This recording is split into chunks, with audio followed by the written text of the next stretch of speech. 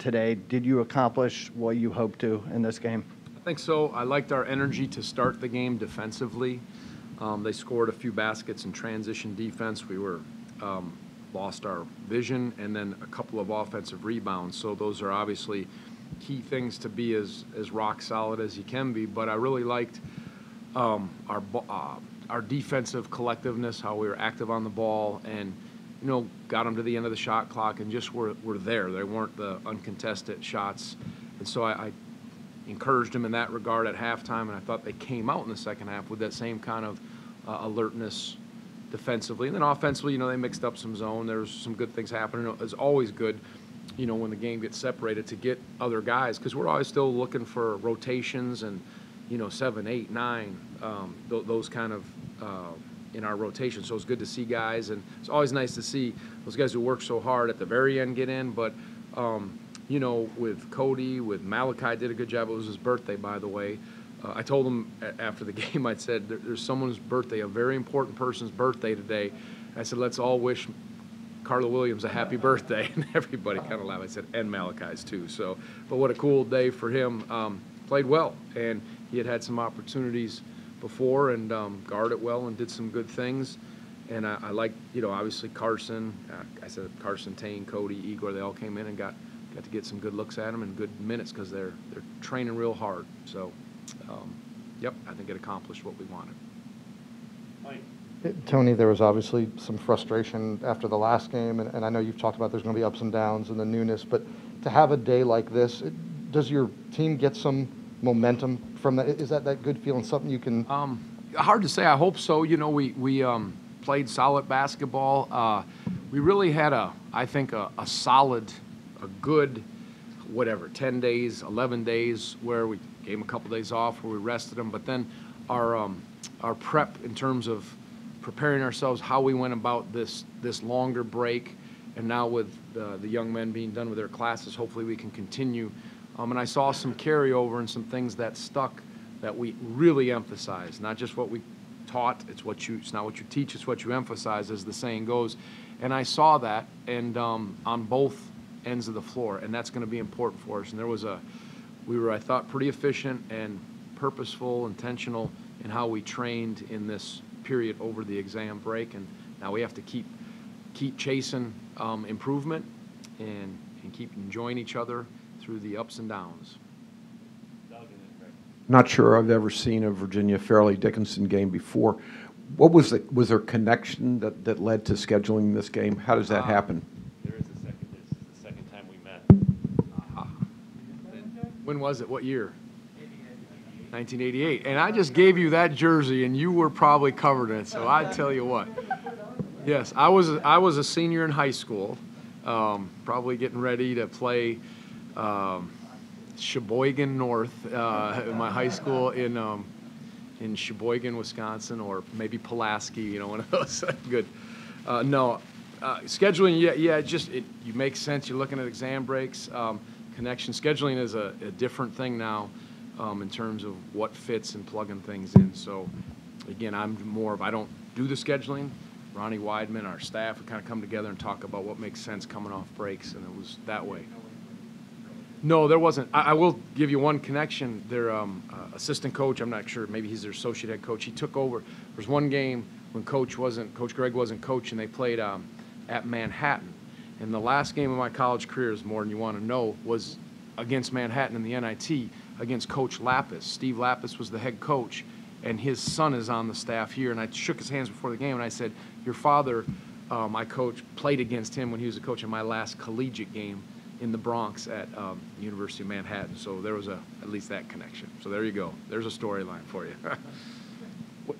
Where, where is Igor at in his development, and can he be someone that, that helps you in, a, in ACC play? I sure hope so. Uh, you know, I- again, all those guys, I, I tell them how important that is. And I told them, you know, I said, I really like what you guys are doing out here offensively. Of course, you're playing free, knocking down shots.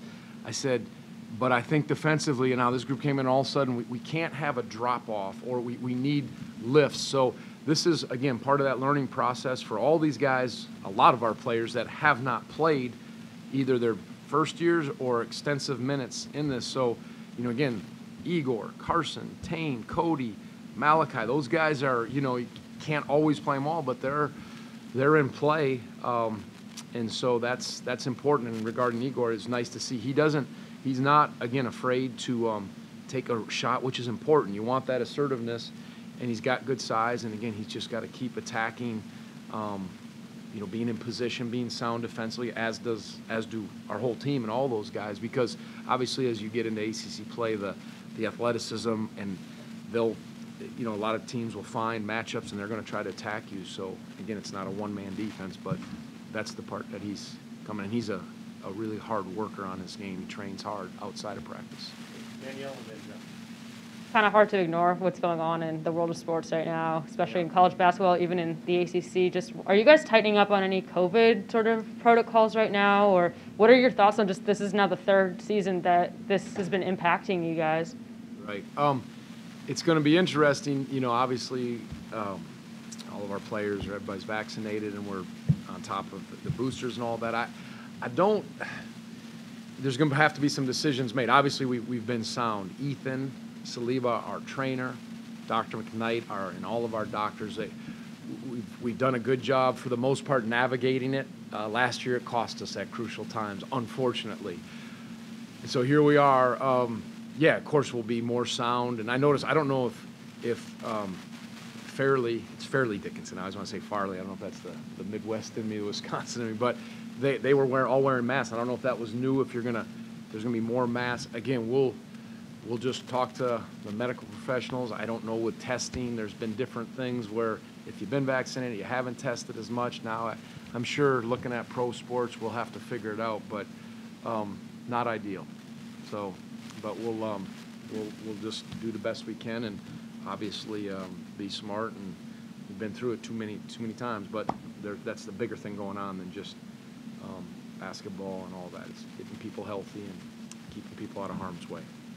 Jeff and then Mike. I don't know if you caught any of it during the first TV timeout, but Barry Parkhill was All right. honored uh, for his 51-point game, among other things. What what has Barry meant maybe to you personally in your 13 years here and, and to the program as a whole? That I can talk about for as long as you want me to, because he's a special man. When we moved here 13 plus years ago, um, four houses down the street were Barry and Pat Parkhill.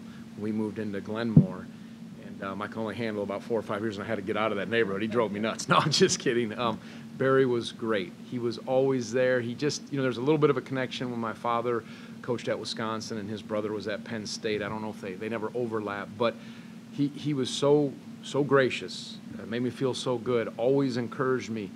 His, what he has spearheaded with fundraising, first of all, just being a basketball guy to, to help our program whenever anything, you know, has been needed, uh, a locker room renovation, just different things over the years.